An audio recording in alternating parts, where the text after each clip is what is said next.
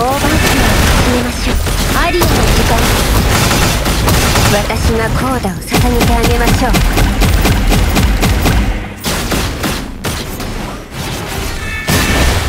アリアのオーバーキュアを始めましょう。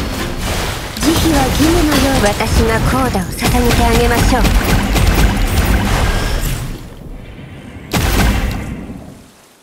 オーバーあり慈悲は義務のように強制され私がコーダを捧げてあげましょう。